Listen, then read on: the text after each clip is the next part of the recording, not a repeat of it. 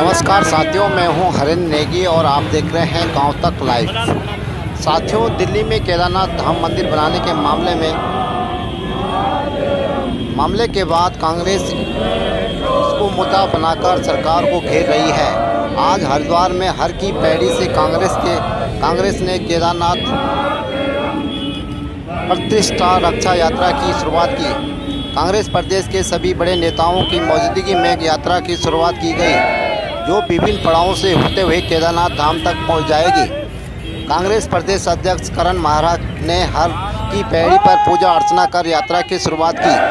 वहीं भीमगौड़ा चौक से नेता प्रतिपक्ष जयसवाल आर्य पूर्व मुख्यमंत्री हरीश रावत पूर्व प्रदेश अध्यक्ष प्रीतम सिंह समेत तमाम कांग्रेस विधायक और कांग्रेस नेता मौजूद रहे। कांग्रेस नेताओं ने कहा कि सरकार केदारनाथ धाम समेत अन्य धामों का व्यवसायीकरण कर रही है। वहीं केदारनाथ धाम में सोना चोरी होने के मामले को लेकर भी कांग्रेस ने सरकार पर निशाना साधा और मामले की जाँच की मांग की।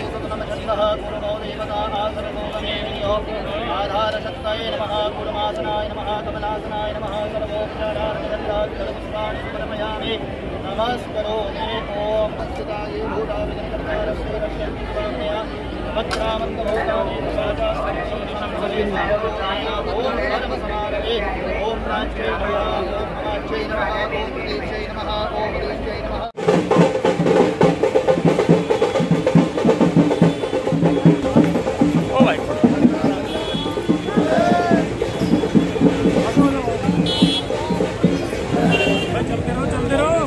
सही नहीं चल रहा तुम्हारा फ़ोन आ गया था बीच में विकास भाई। अरे विकास यार। पूर्व मुख्यमंत्री हरीश वैसे दोस्त लाउड एंड क्लियर है कि ये चारों धाम हमारी आध्यात्मिक परंपरा के प्रतीक हैं। इनके साथ जब भी कोई छेड़छाड़ की जाएगी हमारी परंपराओं के साथ हमारे आध्यात्मिक स्वरूप के साथ कभी छेड़छाड़ की जाएगी। कुछ गलत कदम उठाए जाएँगे तो उसके खिलाफ उत्तराखंड का जनमत जो है खड़ा होगा। और कांग्रेस उसी भावना से कि इन्होंने केदारनाथ में केवल धाम बनाने दूसरा धाम बनाने का पाप ही नहीं किया था। इन्होंने केदारनाथ में और बद्रीनाथ में जिस तरीके से तोड़ फोड़ की है, स्थानीय लोगों के हक हकूक आदि को कुचला है, और पहले जब पकड़े गए जब लोगों ने कहा ये क्या कर दिया तुमने? तो महापाप कर दिया तुमने। तुम धाम बनाने वाले कौन हो?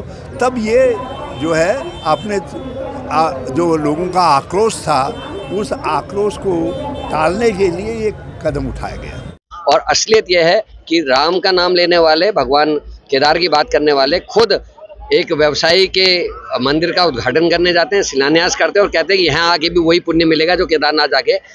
मन चंगा तो कटौती में गंगा भाई। आप ध्यान यहीं बैठ के कर लो, केदार बाबा का आशीर्वाद मिल जाएगा, कहा जाता है। लेकिन जिस तरीके से ये सब कुछ चल रहा है, उसका हम विरोध कर रहे हैं एक्सपोज करने का ही काम है। एक कानून बना दिया, ये कहते हैं, हमने कानून बना दिया, लेकिन 10 तारीख और 19 तारीख के आपके बयान में ज़मीन आसमान का फ़र्क है। आप बताए 10 को सच बोल रहे थे मुख्यमंत्री, या 19 तारीख को सच बोल रहे दूसरा उन्होंने कहा, हमने कानून बना दिया, इस नाम का कोई इस्तेमाल नहीं करेगा।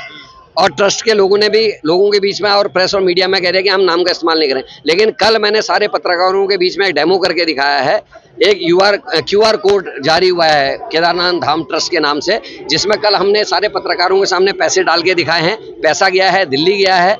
हमने अमरजीत जी के फ़ोन से भी, हमारे राजेश चमोली जी के फ़ोन से भी पैसे डाले, वो सब दिल्ली गए हैं। तो हम इसका विरोध कर मुख्यमंत्री ने अभी तक कार्रवाई नहीं की। और जो लोग उस ट्रस्ट में शामिल हैं, उनके खिलाफ मुकदमा दर्ज होना चाहिए। और असलियत यह है कि राम का नाम लेने वाले, भगवान केदार की बात करने वाले खुद एक व्यवसायी के मंदिर का उद्घाटन करने जाते हैं, शिलान्यास करते हैं और कहते हैं कि यहाँ आके भी वही पुण्य मिलेगा जो केदारनाथ जाके। मन चंगा तो कटौती में गंगा भाई।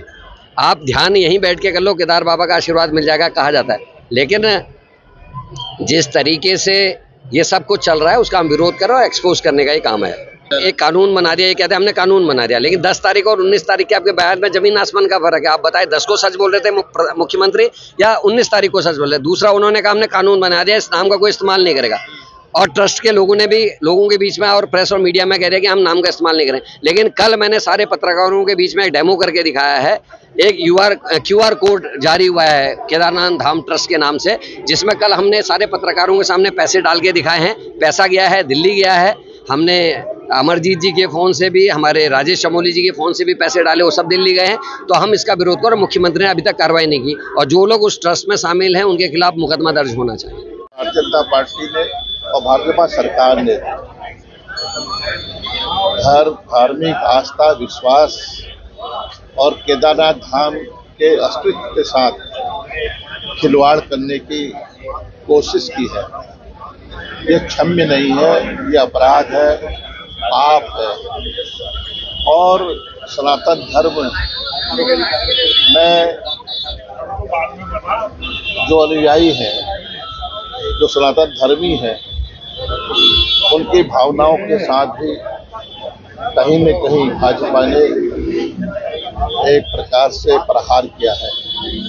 और इसी को लेकर आज पवित्र धरती हरिद्वार, हर की पैड़ी से केदारनाथ धाम तक। कांग्रेस के हमारे साथी सहयोगी, हमारे वरिष्ठ नेता, हमारे सभी माननीय विधायक, पूर्व विधायक, कांग्रेस संगठन के सभी प्रमुख लोग इस यात्रा में प्रतिभाग कर रहे हैं, पद यात्रा कर रहे हैं।